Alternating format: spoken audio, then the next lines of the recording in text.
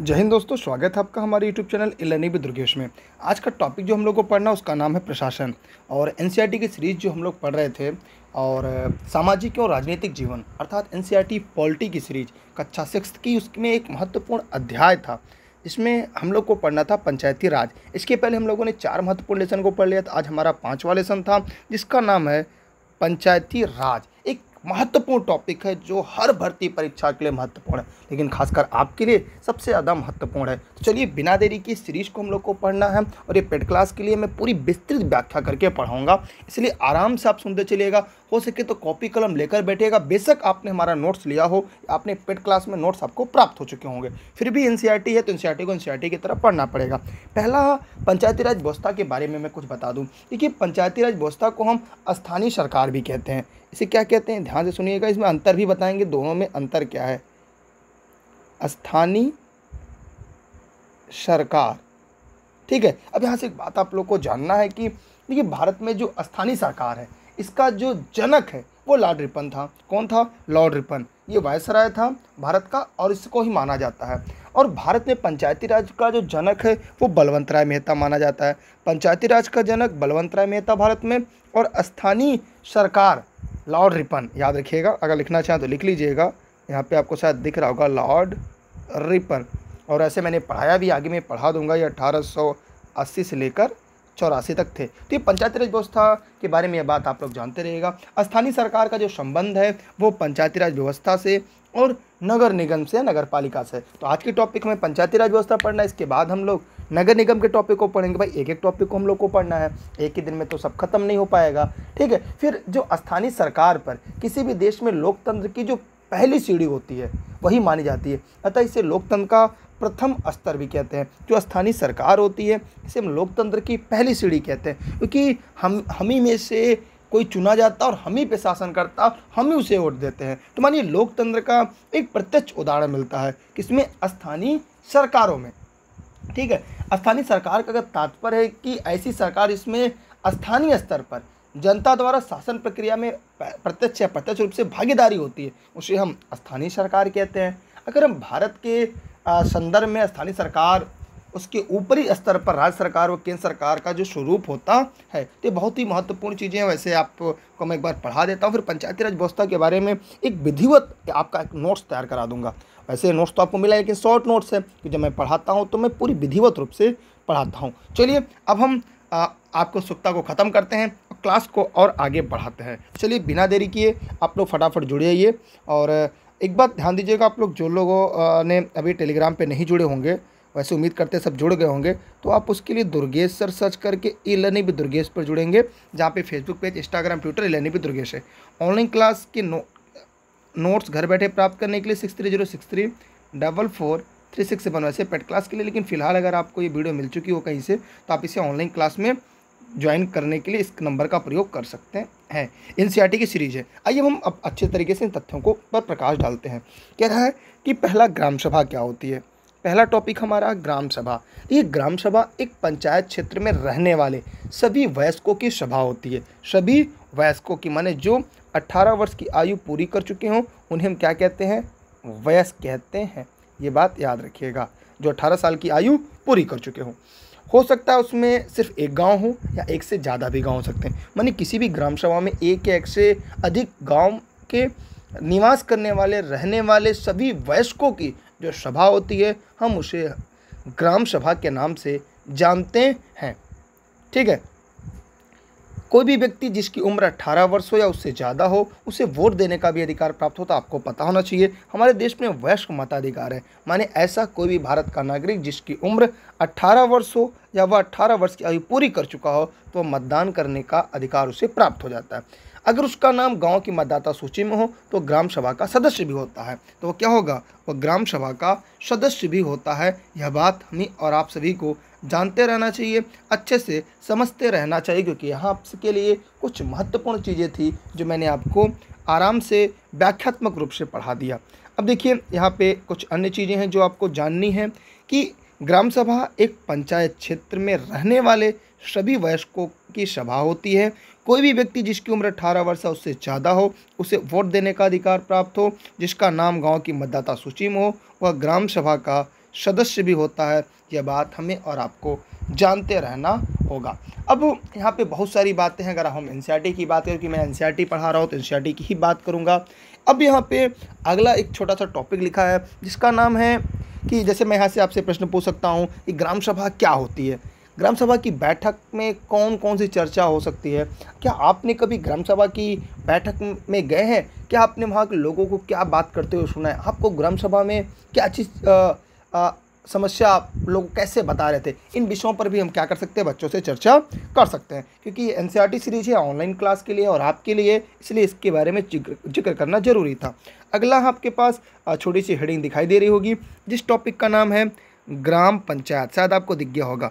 ग्राम पंचायत। ग्राम पंचायत क्या है? इसके बारे में आपको बता दूँ। ये ग्राम पंचायत कई वार्ड छोटे छोटे क्षेत्रों को में बटी होती है। प्रत्येक वार्ड का एक अपना प्रतिनिधि चुनता है, जो वार्ड पंच के नाम से जाना जाता है। क्या नाम से जाना जाता है?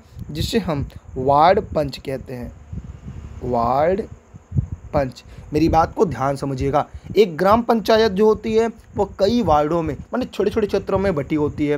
प्रत्येक वार्ड का अपना एक प्रतिनिधि चुनता है। प्रत्येक वार्ड क्या होता है? अपना एक प्रतिनिधि चुनता है, जो वार्ड पंच के नाम से जाना जाता है। उसके साथ पंचायत क्षेत्र के लोग मिलकर सरपंच को चुनते हैं। इसके साथ जो पंचायत के लोग होते हैं, मिलकर किसको? सरपंच को चुनते हैं। किसे? वे फिर सरपंच को चुनते हैं। किसको चुनते हैं? सरपंच को चुनते हैं। फिर सरपंच जो होता है, पंचायत का मुखिया होता है। सरपंच क्या होता है? सॉरी जो सरपंच होता है, वो क्या होता है? वो पंचायत का मुखिया भी होता है। वार्ड पंच और सरपंच दोनों मिलकर ग्राम पंचायत का गठन करते हैं और ये पाँच साल के लिए होता है। कितने दिन के लिए होता है, ये याद रखिएगा। ये पाँच साल के लिए होता है। ये भी आपके लिए महत्वपूर्ण है, जो आपको रट्टा मार कर रखना होगा। ग्राम पंचायत का एक सचिव होता है। ग्राम पंचायत का भी क्या होता है? एक सचिव होता है। इस सचिव का चुनाव नहीं होता, याद रखिएगा। सचिव का चुनाव नहीं होता, वो सरकार द्वारा नियुक्त होता है। सचिव का काम होता है ग्राम सभा, ग्राम पंचायत की बैठक बुलाना। किसकी किसकी? ग्राम सभा और ग्राम पंचायत की बैठक बुलाना और उसमें जो भी चर्चा निर्णय उसका रिकॉर्ड अपने पास सुरक्षित रखना। ये किसका काम होता है? ये सचिव का काम होता है। कौन सचिव? पंचायत का सचिव। किसका? पंचायत सचिव। उम्मीद करता हूँ यहाँ तक के टॉपिक आपको समझ में आ चुका होगा। अब हम और थोड़ा सा आगे बढ़ते हैं और आगे बढ़ने के बाद अन्य तथ्यों पर भी यहाँ से चर्चा करेंगे। आप चाहे तो स्क्रीन अपने पास सुरक्षित रख लें। देखिए, यहाँ पर अब आपको और भी चीज़ें देखने को, जानने को, पढ़ने को मिलने वाली हैं। वो है, ग्राम पंचायत की नियमित रूप से बैठक होती है। उसका मुख्य काम उसके क्षेत्र में आने वाले गाँव में विकास कार्यक्रम लागू करवाना होता है, ग्राम पंचायत का। ग्राम सभा ही ग्राम पंचायत के काम को स्वीकृति देती है। जो ग्राम सभा होती है, वही क्या करती है? ग्राम पंचायत के कामों को स्वीकृति देने काम करती है। तभी पंचायत अपना काम कर तभी क्या होता है? पंचायत जो होती है, वो अपना काम कर पाती ये बात आप लोग अच्छी तरह से समझ लीजिएगा, यहाँ से कोई दिक्कत नहीं होगी। देखिए, ग्राम पंचायत जो होती है, ये पूरे गाँव के हित को हित में निष्पक्ष रूप से काम कर सके। इसमें ग्राम सभा की महत्वपूर्ण भूमिका होती है। ग्राम पंचायत पूरे गाँव के लिए, जो ग्राम पंचायत होती है, ये पूरे गाँव के लिए हित में निष्पक्ष रूप से काम करे। इसमें ग्राम सभा की महत्वपूर्ण भूमिका होती है किसकी? उसमें लिए ग्राम सभा की महत्वपूर्ण भूमिका होती है। ग्राम सभा की बैठक में, जो ग्राम सभा की बैठक में ग्राम पंचायत अपनी योजना लोगों के सामने रखती है। जब ग्राम सभा की बैठक होती है तो ग्राम पंचायत क्या करती है? लोगों के सामने अपनी योजनाएँ रखती है। ग्राम सभा पंचायत को मनमाने ढंग से काम करने से रोक सकती है। साथ ही जो पैसे का दुरुपयोग है, कोई गलत काम ना हो, इसके लिए निगरानी भी करने का काम करती है। इस तरह से ग्राम सभा चुने हुए प्रतिनिधियों पर नज़र रखने और लोगों के प्रति उन्हें जिम्मेदार या जवाबदेह बनाने में बहुत ही महत्वपूर्ण भूमिका निभाती है। तो यह बात हम लोग को पता होना चाहिए कि जो ग्राम पंचायत के काम थे, ग्राम सभा की जो काम था, वो मैंने आपको बता दिया। उम्मीद करते यहाँ से आप लोग को समझ बहुत सारी चीज़ें आ गई होंगी। ठीक है, जैसे ग्राम सभा में गरीबी रेखा के नीचे आने वाले परिवार की जो सूची निर्धारित हो रही थी, उनमें क्या गड़बड़ी हो गई? यदि गड़बड़ी है तो क्या गड़बड़ी थी? ठीक है, और इसके बारे में बच्चों से हम चर्चा कर सकते हैं और आप भी इस बारे में सोचिएगा। ठीक है, हम आगे थोड़ा सा बढ़ते हैं। यहाँ तक मैं उम्मीद करता हूँ आपको कॉन्सेप्ट जो है क्लियर हो गया होगा। देखिए, अब यहाँ पे एक टॉपिक हमारे सामने ग्राम पंचायत के काम। शायद आपको दिख रहा होगा कि ग्राम पंचायत के काम। देखिए, अगर हम ग्राम पंचायत के काम की बात करें, पहले ग्राम पंचायत में हमने देखा नियमित रूप से बैठक होती है, उसका काम उसके क्षेत्र में आने वाले गाँव में विकास कार्यक्रम लागू करवाना होता है। ग्राम सभा ही ग्राम पंचायत के काम को स्वीकृति देती है, तभी पंचायत अपना काम कर पाती है। देखिए, कुछ राज्य में ग्राम सभाएँ काम करवाने के लिए समितियाँ बनाती हैं, जैसे निर्माण समिति, ठीक है? जैसे एक एग्ज़ाम्पल दे रहा हूँ मैं, निर्माण समिति, ये आप लोग भी जानते रहिएगा। ठीक? अब आइए एक टॉपिक यहाँ से हम लोग देखते हैं कि ग्राम पंचायत के काम, जो परीक्षा में बार बार पूछे जाते हैं। देखिए, ग्राम पंचायत के काम क्या होते हैं? सड़कों को मरम्मत करवाना, सड़क बनाना, जिसे खड़ंजे के रूप में हम कहते हैं। ईंट की सड़क होती है, पतली सड़क होती है, नालियों का निर्माण कराना, स्कूलों का, सरकारी स्कूलों का निर्माण करवाना, भवनों का निर्माण कराना, पानी के स्रोतों और अन्य सार्वजनिक उपयोग के भवनों का निर्माण और उसका रखरखाव करवाना, ये ऐसे महत्वपूर्ण टॉपिक है जो परीक्षा में पूछ लिया जाता है। निम्नलिखित में से कौन सा ग्राम पंचायत का कार्य है, कौन सा नहीं है? तो सड़क, नाली, स्कूल, भवन, पानी के स्रोतों, अन्य सार्वजनिक उपयोग के भवनों का निर्माण कराना और उनका रखरखाव करना। स्थानीय कर लगाना, स्थानीय कर लगाना। जैसे अगर पूछ दिया जाए, मेला में जो टैक्स लगता है, मेला कर तो वो कौन है? वो ग्राम पंचायत वसूलती है। कौन? ग्राम पंचायत। और लगाती है और इकट्ठा करने का भी काम करती है। फिर गाँव के लोगों को रोज़गार देने के संबंधित योजनाएँ लागू करने का, कि जो गाँव के लोग हैं, उन्हें योजनाएँ देना, सरकार की जो योजनाएँ आती हैं, उन्हें लोगों को बताना, उन्हें उपलब्ध कराना, ये काम इनका होता है। अब एक प्रश्न आता है कि उनकी आमदनी जो होती है, इनकम है, वो उसका स्रोत क्या है? वो कहाँ से आता है? आइए उस विषय पर भी हम लोग थोड़ी सी चर्चा आपसे किस बीच में करते हैं? क्योंकि मैंने आपको पहले बताया, जब ऑनलाइन क्लास पढ़ते हैं तो मैं आपको व्याख्या करके बताता हूँ। वैसे नोट्स पढ़ेंगे तो बस जो नोट्स में लिखा उतना ही पढ़ लेंगे। इसलिए ऑनलाइन क्लास भी आपके लिए महत्वपूर्ण है। अगर आपने नोट्स लिया होगा तो इस क्लास को भी पूरा अंत तक आराम से आप पढ़ लीजिएगा। यकीन आपके कॉन्सेप्ट जो है, पूरी तरह से क्लियर हो जाएँगे। ठीक? कोई डाउट यहाँ से किसी को? नहीं है। अब यहाँ पे हम आगे देखेंगे कि ग्राम पंचायत के आमदनी के स्रोत क्या है। देखिए ग्राम पंचायत में घरों, बाज़ार पर लगाए जाने वाले कर से मिलने वाली राशि, माने घर पर जो कर लगता है, बाज़ार कर, यहाँ पे ध्यान से देखिएगा, बाज़ार कर परीक्षा में पूछा जाता है, वो भी ग्राम पंचायत कर लगाती है और जो राशि उससे प्राप्त होती है, वह उसकी आमदनी का स्रोत होता है। फिर है कि विभिन्न सरकारी विभाग द्वारा जो योजनाएँ चलाई जाती हैं, जो विभिन्न सरकारी विभिन्न सरकारी विभागों द्वारा जो योजनाएँ चलाई जाती हैं, और उस योजना से मिलने वाली जो राशि होती है, ठीक है, मिलने वाली क्या लगाए जाने वाले कर मिलता है, फिर विभिन्न सरकारी विभागों द्वारा चलाई गई योजनाओं की राशि जो जनपद और जिला पंचायत द्वारा आती है। फिर हम देखेंगे कि विभिन्न सरकारी विभाग द्वारा चलाई गई योजना की राशि जनपद और जिला पंचायत द्वारा आती है। समुदाय के काम के लिए मिलने वाला दाम, ठीक है तो ये बात भी आप लोग जानते रहिए। गा, यहाँ से। फिर यहाँ पे हमने देखा ग्राम पंचायत, ग्राम सभा के प्रति जवाबदेह होती है, क्योंकि ग्राम सभा के लोग ही उसे चुनते हैं। ये बात आप जानते रहिएगा। समुदाय के काम के लिए मिलने वाला दान तो ये था ग्राम पंचायत के आमदनी के स्रोत जो ऊपर हमने बता दिए। अब यहाँ पे कुछ की पॉइंट है जो आप हमें परीक्षा के दृष्टिकोण से देखना है। पहला की पॉइंट है, ग्राम पंचायत ग्राम सभा के प्रति जवाबदेह होती है, क्योंकि ग्राम सभा के लोग ही उसे चुनते हैं। ये काफ़ी महत्वपूर्ण बात है। ठीक है? आगे फिर हम देखेंगे कि पंचायती राज व्यवस्था में लोगों की भागीदारी दो और स्तरों पर होती है। ग्राम पंचायत के बाद दूसरा स्तर होता है विकास खंड का। क्या होता है? ग्राम पंचायत के बाद दूसरा स्तर होता है विकास खंड का। इसमें जनपद पंचायत या पंचायत समिति कहते हैं। इसे जनपद पंचायत या पंचायत समिति कहते हैं। एक पंचायत समिति में कई ग्राम पंचायतें होती हैं। पंचायत समिति के ऊपर जिला पंचायत या जिला परिषद होती है। जो सबसे तीसरा स्तर होता है। कौन सा स्तर? तीसरा स्तर होता है। आइए अब इसके बारे में भी हम लोग और थोड़ा सा बात कर लेते हैं। यहाँ पर देखिए मैप के डायग्राम आपको दिख रहा होगा। इसी डायग्राम के आधार पर अब हम यहाँ पर कुछ अन्य चीज़ों को जानेंगे, पढ़ेंगे, समझेंगे और उम्मीद करते हैं यहाँ से आपकी बेहतर नोट्स भी बन जाएगी। देखिए, हमने देखा कि पंचायत की पहली होती ग्राम पंचायत। ग्राम पंचायत को हमने अच्छी तरह से समझा दिया और आपको शायद समझ में आ गया होगा ग्राम पंचायत क्या होती है। तो फिर पंचायती राज व्यवस्था में लोगों की भागीदारी की की और दो स्तरों पर होती है। ग्राम पंचायत बाद दूसरा जो स्तर आता है, ये पहला स्तर हो गया, उसके ऊपर दूसरा स्तर आता है। अगर हम इस दूसरे स्तर की बात करें तो यहाँ पर विकास खंड की बात होती है। क्या होती है? विकास खंड। इस, इसमें इसे जनपद पंचायत भी कहते हैं। इसे क्या कहते हैं? जनपद पंचायत या इसे पंचायत समिति कहते हैं। विकास खंड जनपद पंचायत या पंचायत समिति कहते हैं। एक पंचायत समिति में कई ग्राम पंचायतें होती हैं। एक पंचायत समिति जो होती है, उसमें कई ग्राम पंचायतें होती हैं। ये बात याद रखिएगा। ठीक है, पंचायत समिति में इसमें कई, देखिए, अगर यहाँ एक है तो जैसे यहाँ पे देखिए, ये हो गया ग्राम पंचायत। अब इसके ऊपर बढ़ेंगे। ये हो गया जनपद पंचायत, विकास खंड, पंचायत समिति। तो इसमें एक से ज़्यादा होगी ना, फिर इसके ऊपर जो आएगा, वो हमारा क्या होगा? जिला पंचायत या जिला परिषद आएगा।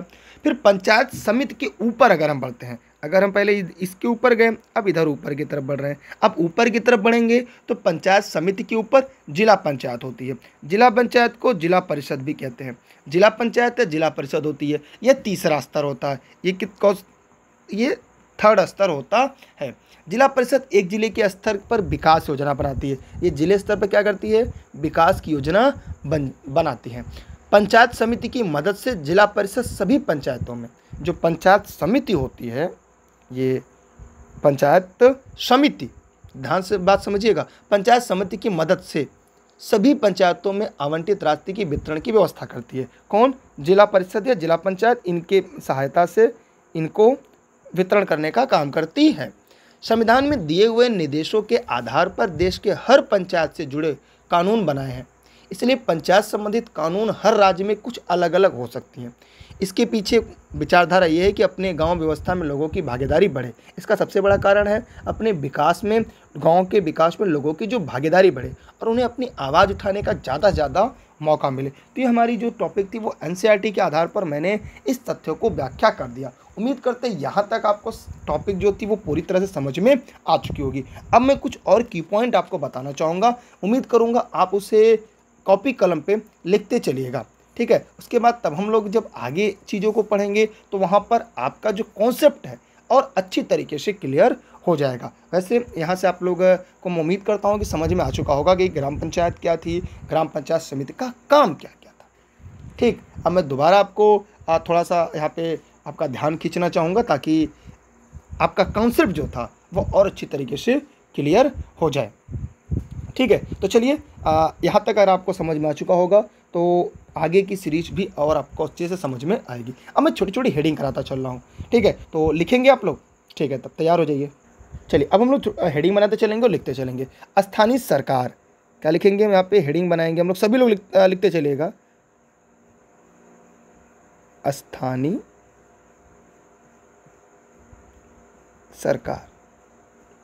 इसे लोकल गवर्नमेंट के नाम से भी जानते हैं। देखिए अगर स्थानीय सरकार की हम बात करें तो जो स्थानीय सरकार है इसका विकास भारत में मानव सभ्यता के विकास के साथ साथ समझा जाता है कि धीरे धीरे जैसे मानव सभ्यता का विकास हुआ तो तो स्थानीय सरकारों का भी विकास होता गया। प्राचीन काल में भारत सरकार का जो स्वरूप था, वो स्थानीय स्तर पर ही निर्धारित होता था प्राचीन काल में। फिर भारत में अगर देखा जाए, दक्षिण भारत में जो चोल साम्राज्य की स्थानीय प्रशासन में सबसे आदर्श व्यवस्था मानी जाती है। किसकी देखा जाए तो दक्षिण भारत में। कहाँ पर? दक्षिण भारत में। किसकी? चोल की। ये काफ़ी महत्वपूर्ण है। जो चोल वंश था, जो चोल साम्राज्य था, इनकी जो स्थानीय प्रशासन सबसे आदर्श व्यवस्था थी। माने स्थानीय प्रशासन जो इनका था, ये लिखते चलिएगा, स्थानीय प्रशासन की आदर्श व्यवस्था थी। आदर्श व्यवस्था था, माना जाता है। चोल साम्राज्य के तहत जो स्थानीय सरकार को केंद्रीय साम्राज्य से पूर्ण स्वायत्त प्राप्त था। मानी इन्हें केंद्रीय साम्राज्य से पूर्ण ये जो केंद्रीय साम्राज्य हुआ करता था, इनसे पूरी तरह से स्वायत्त प्राप्त होती थी। ठीक है? स्थानीय सरकार के जो प्रतिनिधियों के लिए एक स्पष्ट नीति बनाई जाती है, जिसमें उनकी योग्यता, कार्यप्रणाली, स्वरूप का एक आदर्श स्वरूप में प्रस्तुत किया जाता है। फिर आगे चलकर देखेंगे कि भारत के मध्यकाल में स्थानीय सरकार के विकास में रुकावट आई। मध्यकाल में आते आते, जैसे जब मध्यकाल की बात करते हैं, ये तो प्राचीन काल था। जब मध्यकाल में आते हैं तो फिर यहाँ पे क्या होती है? ढेर सारी रुकावटें पैदा होती हैं। क्या होती हैं? रुकावटें पैदा होती हैं। स्थानीय प्रशासन पर धर्म व उनकी कार्यप्रणाली का प्रभाव पड़ा। किसका? धर्म का और उनकी कार्य प्रणाली का। इनका प्रभाव मध्यकाल में किससे पड़ा? स्थानीय सरकारों पर पढ़ना शुरू हो गया। फिर आधुनिक युग में आते आते ब्रिटिश साम्राज्य के तहत स्थानीय सरकार में विकास प्रक्रिया की शुरुआत हुई थी। अगर फिर आगे देखिए लॉर्ड रिपन, ये काफ़ी महत्वपूर्ण है। अगर आधुनिक की बात करें तो आधुनिक भारत में, ये लिख लीजिएगा, लॉर्ड रिपन। इसके बारे में भी मैंने ऊपर बताया था, लॉर्ड रिपन 1880 से चौरासी तक। ये भारत का वायसराय भी रहा था और इसे स्थानीय सरकार का भारत में जनक माना जाता है। स्थानीय सरकार का, स्थानीय सरकार का भारत में जनक वायसराय लॉर्ड रिपन को माना जाता है। ये बात आप लोग को मैंने ऊपर बता दिया था। ठीक, लॉर्ड रिपन ने स्थानीय सरकार की स्वायत्ता तथा उसके कार्यक्षेत्र के विस्तार को समर्थन दिया। इसलिए लॉर्ड रिपन को स्थानीय सरकार का जनक माना जाता है। इसलिए क्या होता है? लॉर्ड रिपन को स्थानीय सरकार का जनक माना जाता है। यह आपके परीक्षा के लिए सबसे ज़्यादा महत्वपूर्ण है।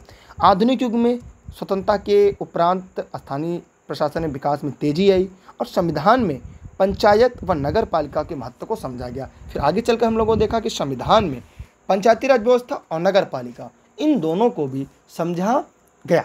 ठीक है, अब हम आते हैं स्थानीय सरकार का संवैधानिक रूप देखते हैं। यहाँ से स्क्रीनशॉट ले लीजिएगा, क्योंकि अब अगली हेडिंग हम लोग डालने जा रहे हैं और अगली हेडिंग पर हम लोग बात करने जा रहे हैं। ठीक तो स्क्रीनशॉट चाहे तो कर लें। सभी लोग, जो लोग ध्यान से पढ़ रहे हैं पेट क्लास को, वो पूरी तरह से स्क्रीनशॉट ले लें। चलिए, अब हम लोग फिर से लिखेंगे हेडिंग स्थानीय सरकार का संवैधानिक रूप। हेडिंग बना के लिख लीजिएगा आप लोग। स्थानीय राइटिंग थोड़ी सी गड़बड़ है। सरकार का संवैधानिक रूप। ये हमारी हेडिंग हो गई। अब इसमें बहुत सारे की पॉइंट आज लिखना है जो आपके लिए महत्वपूर्ण होगा। ठीक। चलिए, अब यहाँ पे पहली बात है कि भारत में संविधान में स्थानीय प्रशासन के स्वरूप का स्पष्ट उल्लेख आपको मिलता है। अगर देखा जाए संविधान यहाँ पर अनुच्छेद चालीस में, ये अनुच्छेद चालीस जो संविधान के भाग चार नीति निर्देशक सिद्धांत के अंतर्गत आता है। इसमें राज्य ग्राम पंचायत का गठन करेगा। राज्य क्या करेगा? ग्राम पंचायत का गठन करेगा। यह लिखा, क्या लिखा गया कि जो राज्य है, ग्राम पंचायत।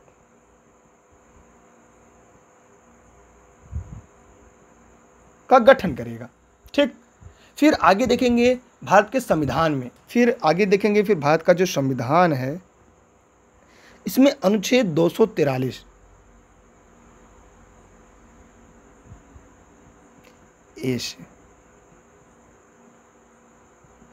ओ तक, पंचायतों का अनुच्छेद रखा गया है।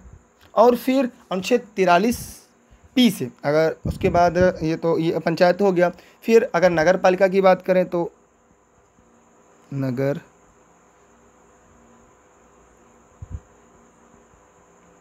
नगर पालिका की बात करें तो यह अनुच्छेद दो सौ तिरालीस पी से दो सौ तिरालीस जेड जी तक है। ठीक है तो यहाँ तक ये आपके लिए हो गया। अब हम और आगे देखते हैं, ये हो गया नगर पालिका ये हो गया ग्राम पंचायत, ठीक? और ये हो गया, और ये जो दोनों, ये ये दोनों अगर हम यहाँ पे, अगर यहाँ पे इन दोनों भाग के बारे में हम बात करें, इनके बारे में तो ये संविधान में पंचायत राज व्यवस्था नगर पालिका का जो प्रावधान है, ये ग्यारहवीं अनुसूची, ये ग्यारहवीं अनुसूची और बारहवीं अनुसूची में लिया गया है। यानी तिहत्तरवा संविधान संशोधन में ये था ग्यारहवीं सूची जोड़ी गई, तिहत्तरवें संविधान संशोधन में और ये चौहत्तरवें संविधान संशोधन में बारहवीं अनुसूची जोड़ी गई। ये एक नंबर आपका तैयार हो गया। ठीक, और ग्यारहवीं अनुसूची तिहत्तरवें संविधान संशोधन उन्नीस सौ तिरानवे जोड़ा गया, इसके तहत पंचायत में उनतीस विषय लिखे गए। अगर ग्राम पंचायत की बात करें तो इसमें कितने थे? उनतीस विषय थे। उनतीस विषय का प्रावधान किया गया। जबकि बारहवीं अनुसूची जो थी, बारहवीं अनुसूची में चौहत्तर संविधान संशोधन के बाद जोड़ा गया था। जैसा कि मैंने यहाँ पे बताया, बारहवीं अनुसूची चौहत्तर संविधान संशोधन के द्वारा जोड़ा गया था। इस अनुसूची के तहत नगर पालिका के लिए अट्ठारह विषय, कितने? अट्ठारह विषय का प्रावधान किया गया। यहाँ पे उनतीस विषय था और यहाँ पे क्या था? अट्ठारह विषय। ये दो की पॉइंट आपकी परीक्षा के लिए महत्वपूर्ण हो गई। यहाँ से आपके परीक्षा में प्रश्न आएगा तो गलत नहीं होगा। क्लियर फिर आगे हम लोगों ने देखा।